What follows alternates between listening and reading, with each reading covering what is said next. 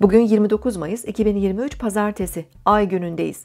Başak Burcu'nda ilerleyen Ay sabah erken saatlerde Yengeç Burcu'ndaki Venüs'le uyumlu görünüm yapacak.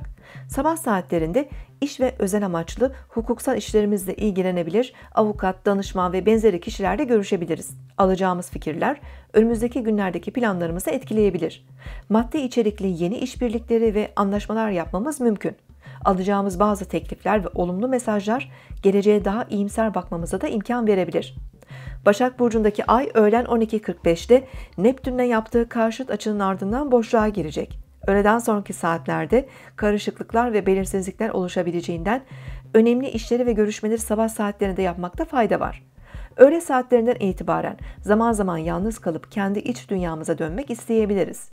Gelecekle ilgili hedeflerimizde idealist ve vizyoner olabiliriz. Ancak aşırı hayallere de kapılmamalıyız. Maneviyata yönelmek ve tefekkür etmek faydalı olabilir. Ay 17.50'den itibaren terazi burcunda ilerlemeye başlayacak. İlişkiler, ortaklıklar, eşitlik ve adalet gibi kavramlar önümüzdeki iki gün daha fazla gündemimizde olabilir. Siz de şimdi kanalımıza abone olun, yorumlar bölümüne sorularınızı yazın, sürprizlerimizden haberdar olun.